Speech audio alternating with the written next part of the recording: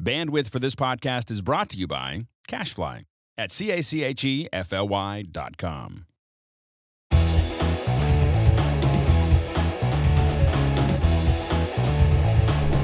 Welcome back to MacBreak Studio. Here we are downtown Petaluma at the Pixel Corps Studios, and we have Mark Spencer. He's going to show us more motion stuff, animation, and More motion Yeah, stuff. more motion stuff. Yeah.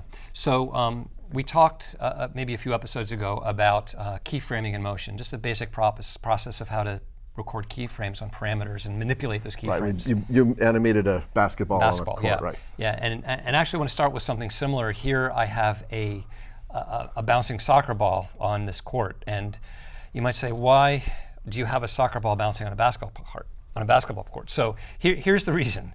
Um, frequently, when you're building stuff for a client, you don't have the finished artwork. Right. Right. They're they're producing a logo. They're producing something, or they're trying to decide what artwork to buy. So in this case, I know I need to animate a ball on a ba- it's going to be a basketball, but the client hasn't chosen what basketball they want. So I just grabbed something I had, which happened to be the soccer ball. This is another iStock photo image that I happen to have from another project. So I built my animation with basically a placeholder graphic. Okay? In this case, a soccer ball. A soccer ball, right. And now the, the client has come and given me the basketball, and now I want the basketball to be doing what the soccer ball is doing. Exactly. So I want to get those keyframes off of the soccer ball and onto the basketball. Okay? So you may think, oh, I can copy paste. Would you might be thinking that? I, I might, or I would think, gosh, should be a really way to just just swap out the items and Okay, have well, the keys. we'll get there in a minute. Let's get there in a minute. Oh, sorry. So let's let's say you want to copy paste. Okay, let's just say Let's just roll say- with me. Roll all right, with me. Okay, you want to? I really want to copy paste used keyframes. so and yeah, and I would say you can. Okay, and that's good. great. So let's just say let's let's bring in this basketball right. uh, into the same group. It doesn't matter, but let's say you know you bring it into the Ah, project, okay. and now I'll select the soccer ball, and I have the keyframe editor opened down here, and I'm just going to drag a marquee to select all these keyframes. Command C to copy. I just Command C or Edit Copy. I'll select the basketball, and I'll hit Command V to paste. Uh, and if I play that, They should be in exact same. yeah, it's doing the exact same Nice. thing. The ball, the soccer ball was bigger to begin with, so they're slightly different size, but they're doing exactly the same thing. So if I turn the soccer ball off, I've accomplished my task. You sure did. Okay, great. Store- uh, episode over. Episode. So thank you for watching MacBreak Studio. Yeah. So, but here, let me. Let me I'm going to undo that, uh, and I'm going to get rid of that basketball because I, want, I just want to show you a, a faster way. So um, here, here's our bouncing soccer ball, and really to me this is this is a super useful technique many times and it applies not just to a keyframed object but any temporary object or object that you want to swap out. And you may have applied masks you may have applied behaviors you may have applied filters to it. It doesn't matter. So what we're going to do is is what you uh, just gave away. Um, Stole your thunder. a little bit. um, which is called ex- exchanging the media. And but all you do, I mean, very very simple. Uh, and I'll, I'll zoom in a little bit to see if we can do this, uh, so you can really see it. I'm going to drag the basketball on top of the soccer ball, and I get a hooked arrow. Okay. Got to see the hook. Kind of disappeared quickly. There. there Hooked arrow. go. I'm going to let go of the mouse, and it swaps out the media, but maintains any transformations we've done to. Masks, keyframes, Any effects, effects, anything that's Yeah. on it. It just, filters, behaviors, like it masks. inherits it. Yeah, it just gets it all. Yeah. So that's by far the fastest way. If you don't want to get rid, I'm going to undo that again. If you don't want to get rid of that soccer ball, so I just did Command Z to undo, Command D to duplicate it first, and then swap out, right? And now we've got both. So it's just it's faster. And um, when you copy paste keyframes, you might not select them all. You might not have made sure that you had all your animated parameters showing, so you might miss something That makes sense.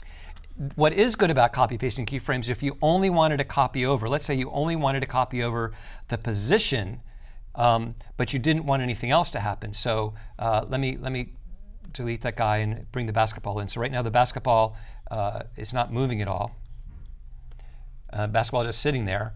But now I only have the position properties of the soccer ball, nothing else. Right. And sometimes you do you don't want every single thing. In that case, I would I might want to copy paste. I could copy paste onto the basketball, and now the basketball is moving uh, with the other one.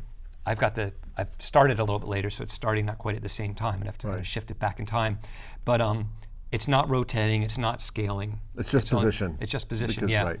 Yeah. But there's even another way. Okay, because the whole thing about motion, it's not like Final Cut. There's like three ways to do everything. Right. So, um, in some ways, this is my favorite way uh, to deal with this. Exchanging media is great when you want to inherit all the properties. Sure. But let's bring this basketball in again. And if I do only want to uh, transfer some of the properties, I can be selective without needing to select them. I don't need to open the uh, keyframe editor. I don't need to isolate keyframes and select them. What I'm going to do is go to the inspector. And just it's clear, if I play now, the soccer ball is animated and the basketball is not, right? Right. So I'm going to select that soccer ball. And in the inspector, in the properties pane here, um, we can see the animated parameter. In fact, it's very obvious. They're, they're red, okay? If motion tells you anything that's red um, got- is animated. animated, I'm tapping yeah. the arrow keys to move through. When I land on a keyframe, the keyframes turn orange there. Right. So here's a really cool thing. Any property, and this doesn't just apply to animated properties, any parameter that I want to apply to the basketball, I can apply by dragging the name of it. So if I want the position of the soccer applied to the bas- of the soccer ball applied to the basketball, I can just drag it on there, and now the basketball is moving like the soccer ball. If I want to rotate it, I can drag rotation onto the basketball. Oh, that's great. Or scale, I can drag scale onto it. Okay, or I'm going to undo three times, so that's all, you know, gone again. If I want all of them, Yes. check, I love this. You can just take this word transform, and I want all these transform properties applied to the basketball. I'll just drag them all in there at once. Oh, that's fantastic. Super, super useful. Not Super documented easy. anywhere either, by the way. I wish that had. Um, I wish that existed in Final Cut.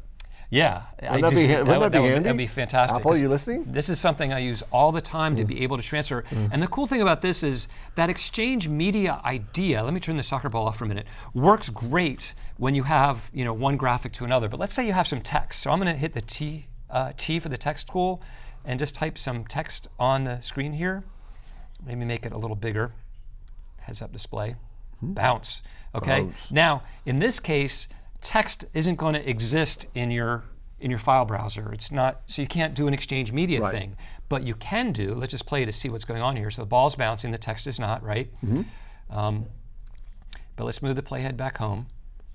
And what I'll do is select the basketball, and in the in the inspector in the properties pane, I don't want the text to rotate Right. right? That would be kind of silly. Uh, but I might, I want it to position. I'm going to command click on scale. I've got both of those. So I'll drag those onto the text. Look at that. And now the text bounces right on with the basketball. That's sweet. So super, super easy thing, right? Yeah. And just to finish this off, um, I might want the bounce path to be separate from the ball. Right. So the text path will be slightly offset or Yeah, I don't want it right in front like that. Okay. I'd like it over to the right. And we talked in a previous em- episode here. You can hold down the hold down the Option and Command keys and drag on the path Mm-hmm. um, to move one of the others. I can move that over like that. But another way to do this that sometimes can be a little more useful in, in my mind is I'm going to take that basketball and put it in its own group. So from the Object menu, I'm going to choose to to group it. Okay, I'm not choosing New Group. I'm choosing the verb group. I want to put it in a group, and that way I can move the group okay, and just really, I don't have to worry about holding down Option Command and clicking right on that Right. keyframe. It's just a little, a little slicker. And now um, the word bounces right with the basketball. So in cases where you don't, you're not exchanging media because there's no media to exchange, you know, a- a- it's a, it's a built-in motion object like an emitter or a replicator or Right. text. Uh, dragging the name of the parameter that you want uh, onto the target object is a great way to match something. In fact, that's a cute little animation that you created there. Well, thank you very much. I like it very much.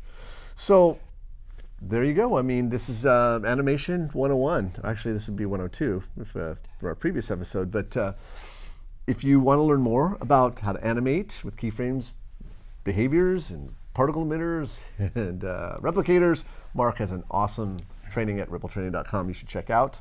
And uh, can't wait to to see the next episode. I'm looking Where forward to go it. Great. Excellent. All right, Steve, so thanks. thank you for another watching another episode of MacBreak Studio. Catch you next time.